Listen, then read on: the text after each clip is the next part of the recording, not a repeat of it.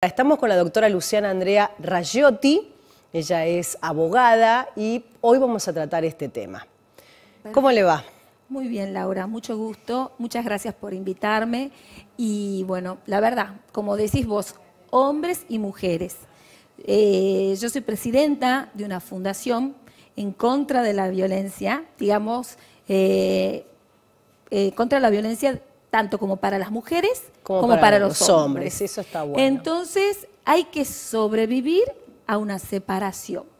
Buen a título. una separación, porque ya sea un divorcio o un concubinato. Claro. ¿Qué es lo ¿Tienen que los pasa? mismos derechos? Eh, eso también podríamos explicar en otra oportunidad.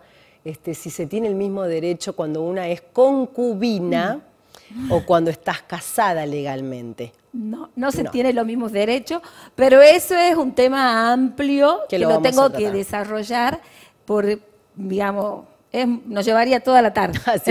Bueno, doctora Luciana, arrancamos con el tema del divorcio. ¿Cuáles son los primeros Sí. pasos? Cuando Bueno. hay hijos. Bueno, mira, los primeros pasos eh, se redacta un convenio, si es que nos llevamos bien. Eh, acá lo que, lo, lo que tenemos que hablar es de la responsabilidad parental. ¿A qué nos referimos con responsabilidad parental? En la responsabilidad parental es compartida, tanto papá como mamá.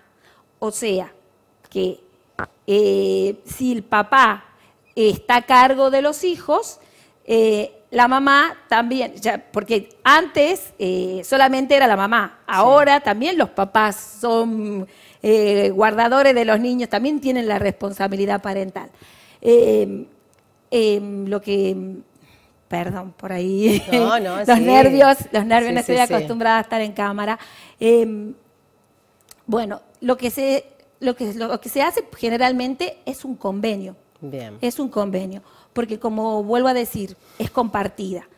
Puede ser unilateral si el papá fallece o el papá vive en otro país o el papá está en otra provincia, Sí. porque también ahora es difícil, digamos, comunicarse, digamos, por más que haya tecnología, hay veces que uno necesita operar el hijo de urgencia, entonces papá no necesitamos, está no está el papá. Claro. Entonces, eh, Y más cuando son menores, ¿no? Que siempre tenés Sí. que eh, tener el, el permiso de o de ambos. Claro, De ambos. menores y adolescentes, porque hay veces que un hijo juega al fútbol, vos que sos tan futbolera, Sí. entonces necesitamos el permiso El de ambos de papás. ambos papás, sí, sí, ¿Y qué pasa si el papá está en otra provincia o el papá está ausente? ¿Cómo solucionamos ese problema? Tenemos que llevarlo a la justicia. Claro. Entonces, Para eso están ustedes, Para los eso estamos nosotros, los abogados. La idea es de que la gente, gracias a Dios, hoy en día el, el nuevo Código Procesal Civil de Familia nos dice a los abogados que hablemos con terminología que la gente nos entienda. Bien. Porque antes eh, uno le hablaba medio difícil y la gente no entendía. Bueno, eh, aparte también es importante que las mamás sepan que todas pueden llegar a la justicia cuando no se pasa alimento, cuando, no- cuando el papá no le está pasando alimento o cuando la mamá tiene más dinero que el papá y tampoco pasa alimentos. Entonces, hoy en día yo quiero que sepan que todos tienen acceso a la justicia porque hay defensores oficiales, el Colegio de Abogados tiene eh, la práctica ahí donde, donde están Donde los letrados claro. y se presentan. eh, El oficio. Se, se presentan para el- para el- con el beneficio de litigar sin gasto. Así se llama. Las mamás que pueden, digamos, las personas que pueden obtener el beneficio de litigar sin gasto eh, son las personas que no tienen recursos, que no tienen un trabajo estable, porque es de público conocimiento que la mayoría, el- la situación de la Argentina es difícil tener difícil. un trabajo en blanco, entonces por lo general todas las personas, eh, bueno, no quiero Entrar en, en eh, detalle. detalle, pero, En sí, llegás al divorcio, haces un convenio. En el convenio, ¿cuánto le tiene que pasar al hijo? Depende del sueldo. todo depende del- de la cantidad de hijos, Mm. del nivel de vida que tenían esos hijos. Entonces, eh, digamos, no, no, no se puede precisar un número, Claro. pero tampoco hay excusa de decir que el papá no trabaja o la mamá no trabaja. Ah, claro. Hoy en día los jueces, como vuelvo a repetir, que la responsabilidad parental es compartida, Partida, sí, sí. entonces hoy en día los jueces están, eh, por ejemplo, por hijo, Sí. están dictando por lo general un 30% del salario mínimo vital y móvil. El 30. Un hijo. un hijo. Un hijo. O sea que, bueno, serían casi 27 mil pesos, Claro. una cosa así. Esto, doctora, cubre salud, Salud, educación, educación. deportes y Gastos extraordinarios. Gastos extraordinarios. Que los gastos extraordinarios Son son, más ca- muchísimos. muchísimos más. Muchísimos, Sí, porque sí, los sí. chicos concurren a. Digamos, la merienda, viaje de el estudio, desayuno, el, sí, la salida. comprar cosas para el colegio. Los ¿Qué hacemos con 27 mil pesos? Yo digo, la que está del otro lado dice, ¿qué hacemos con 27 mil pesos? ¿Qué se hace? Yo conozco muchas mamás en situación desesperante. eh, aparte, eh, cuando tenés un hijo sano, eh, no es tanto el problema. El problema se presenta que a raíz, eh, por ahí de las separaciones, los chicos no, la- no, eh, no lo toman tan bien. Empiezan con, lo- con la psicóloga. Mm. Claro. Tenemos el gasto de la psicóloga. psicóloga. eh, tenemos el gasto de la psicóloga o una psicopedagoga. la porque psicopedagoga porque empiezan a andar mal en el El colegio. colegio. Eh, también eh, Hay muchos temas, ¿no? hay mucho. muchos es un abanico muy grande, muy grande porque eh, los chicos también como Tienen derechos. tienen derechos, eh, es lo que se trata de, de- de prevalecer en el tema de la responsabilidad parental, que los chicos se respeten los derechos de los chicos y que, como dice eh, el artículo 12, que tienen derecho a ser oídos también. Como, como puede ser, como estábamos hablando, unilateralmente cuando no está el papá, también está la responsabilidad que es compartida, que es que tres días en tu casa, tres días en la mía. Y eso también es importante que los papás sepan que cuando lo llevan esos tres días a la casa, los tienen que hacerse los deberes. Y tienen que poner las cosas la- la- para las materias especiales. Porque a mí se me presenta mucho, Muchos el- casos. muchos casos que la mamá me dice, hicimos el convenio y no llevó nada para actividades prácticas y me reta a mí la, la maestra. maestra.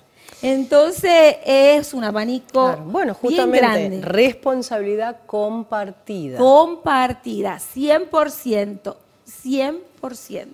Eh, en el caso que el papá se niega a pasar la cuota alimentaria, Va, bárbaro. Eh, ¿a quién acudimos? ¿A, quién, se acude? ¿A quién acudimos? A los letrados, a los abogados. A los abogados. Pero, ¿Y el abogado después a quién? ¿Puede Al la- juez. al juez. ¿Los abuelos? También. Pueden pagar Pero si el- tenemos que demostrar que el papá No. no. trabaja en nada. Porque el que tuvo el hijo es el papá, no los abuelos. Claro. Entonces, hay veces que me, me duele el corazón Sí, tener que quitarle a los a los pobres abuelos, a los pobres jubilados que ganan poquito, Para que el hijo el cumpla. hijo- para que el hijo cumpla. Pero nosotros tratamos de llegar a los abuelos ya en el caso incum- del incumplimiento total del De la padre irresponsabilidad también. de total del padre, porque nosotros eh, como letrados tenemos muchas medidas cautelares que podemos usar antes de llegar a los abuelos.